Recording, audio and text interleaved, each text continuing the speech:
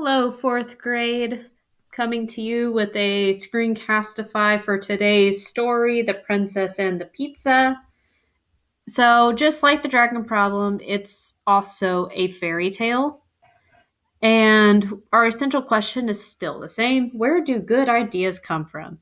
So, in the Dragon Problem, Liang gets really creative with solving the problem of getting rid of a dragon so, similarly, we're going to read about how a princess gets out of a difficult situation.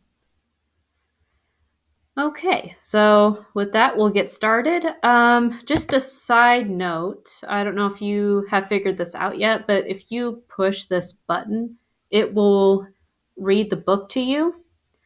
So, whenever um, you are not in one of my live lessons and you have to read a story to yourself, if you get tired of reading the tiny print here, like I do sometimes, you can just choose to listen to it instead.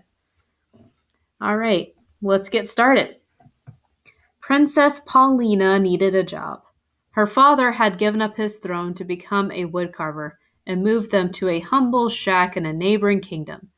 Since the king was still learning, his carvings didn't sell, and Paulina's garden barely kept enough on the table. Paulina missed princessing. She missed walking the peacock in the royal garden, surveying the kingdom from the castle tower, and doing the princess wave in royal processions. Paulina tried walking a stray chicken around her shack, but it only pecked at her bare toes. Ouch. Surveying the kingdom from the shack's leaky roof made even more holes. She tried princess waving to the townspeople from her father's cart, but nobody bothered to wave back. They just thought she was swatting at flies. So we have a princess here who's trying to get used to living a normal lifestyle instead of living the royal lifestyle. I'm sure that can't be easy.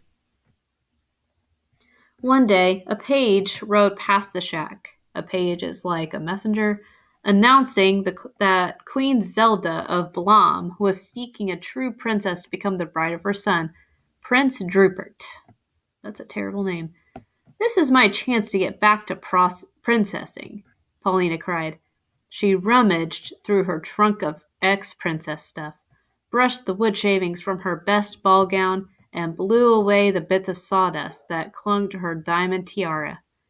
Then she tucked a piece of garlic into her bodice for good luck.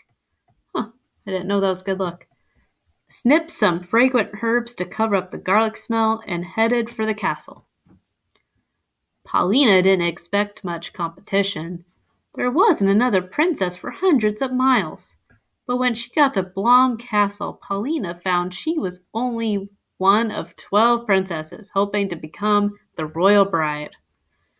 Okay, so here we have a little text box. Make predictions. How does Paulina feel about her chances of winning the competition? Use text clues to make a prediction. Hmm. Well, I think she was thinking that she wasn't going to have competition, but turns out there's 12 other princesses. So, using text clues, hmm. Maybe because she didn't expect competition, but then found out there was, maybe she's not sure yet. When she looked into her assigned room, Paulina saw her bed piled with sixteen mattresses. Oh, for Pete's sake. The old princess and the pea trick. That's so once upon a time. Naturally, Paulina didn't sleep all night because she felt the lumpy pea through all the mattresses. When the twelve princesses gathered in the throne room the next morning, the seven who looked bright eyed were sent home. Now only Paulina and four other sleepy princesses remained. First, they were made to write essays entitled Why I Want to Have the Gracious and Exquisitely Beautiful Queen Zelda for My Mother in Law. Oh my goodness. So, gracious kind of means um, she's someone who's generous. It can mean generous, or someone who's graceful. Prince Drupert and Queen Zelda finally appeared on the balcony. Queen Zelda did all the talking. Congratulations, ladies! You have written some lovely essays, which I will keep in my scrapbook. And you have passed all passed the mattress test, but to make absolutely sure you are of royal blood, there is a second test.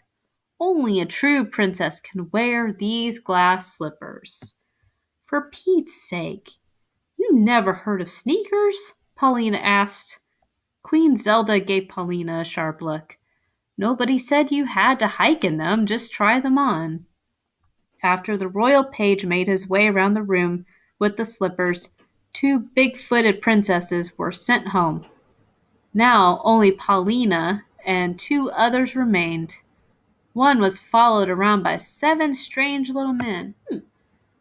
And the other had such a long braid dragging behind her, Paulina kept tripping over it. So I'm kind of actually seeing some references to other fairy tales. So the glass slippers, it's totally a Cinderella thing. And then being followed around by seven strange little men, that's a Snow White reference. And the other had a long braid. That's kind of like Rapunzel. For Pete's sake, you never heard of scissors? Paulina cried. Queen Zelda glared at Paulina. You all have passed the second princess test. Your final task is to cook a feast that proves you worthy of being my dear Drupert's wife. This set up a wail among the princesses, especially Paulina. For Pete's sake, you have no royal chef. Silence, said the queen. The table holds the makings for three fine feasts. Choose well, for the winner will become my dear Drupert's bride. As Paulina started for the table, the long haired princess tripped her, then loaded up with food. By the time Paulina got there, the seven strange little men had run off with everything but some flour, yeast, water, three overripe tomatoes, and a hunk of stale cheese. So that means it was old. That's not fair. Queen Zelda, will you help me? No, said the queen, because you have a big mouth. I'm guessing this is Queen Zelda. There's Rapunzel. There's Snow White.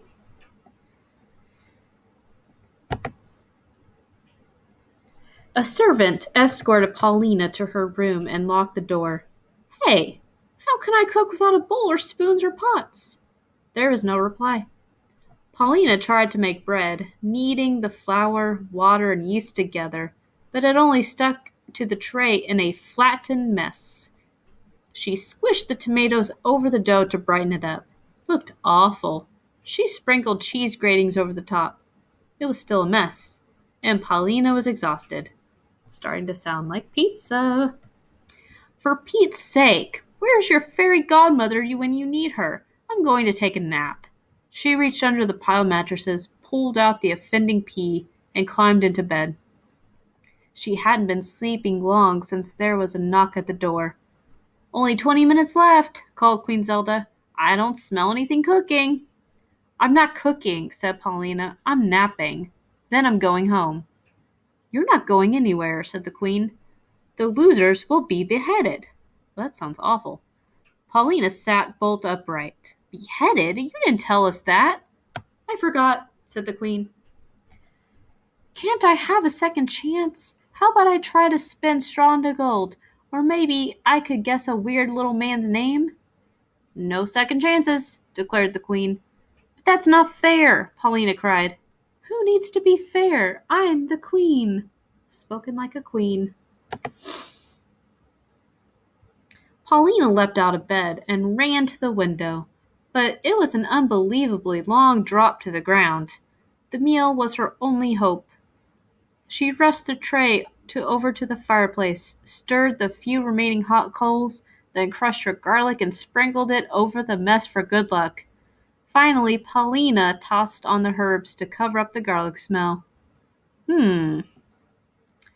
Paulina paced back and forth, planning her escape. Perhaps she could make a deal with the long-haired princess to climb down her braid. She didn't notice that the goopy dough had browned into a crust, the tomatoes were bubbling, the hard bits of cheese had melted, and the fragrance of garlic and herbs filled the room.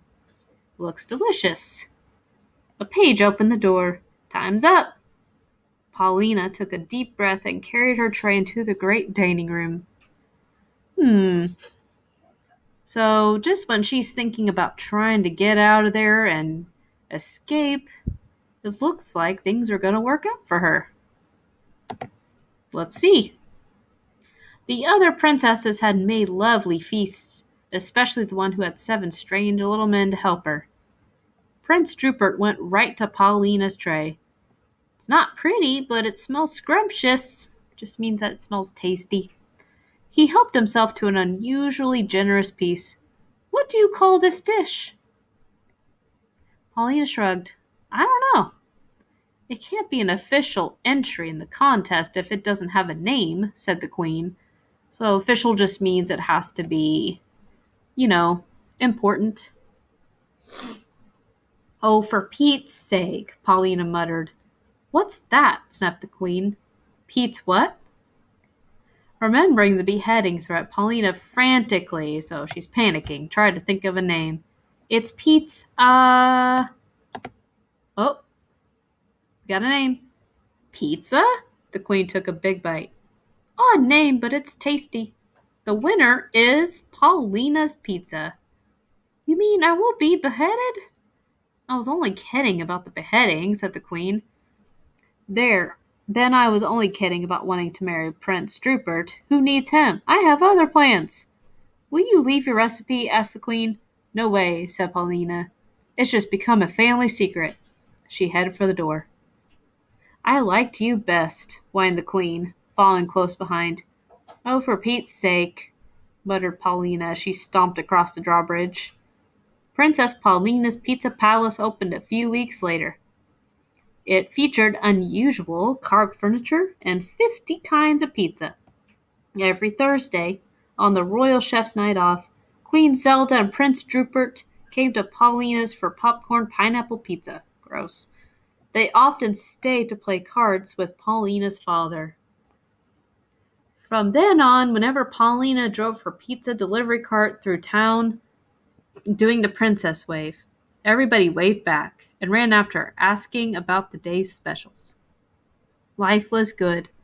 Paulina was grateful not to have Queen Zelda for her mother in law, but she still worried about one little thing. She worried about getting Queen Zelda as her stepmother. Uh oh. So I can make a prediction that this must be Paulina's dad. Oh my. So that's the end of the story. So we have a princess who invented pizza. Okay, so make sure you answer the reading comprehensions about the princess and the pizza. I'm mostly just focusing on story elements. So remember who your characters are. Remember that a plot is the problem and solution.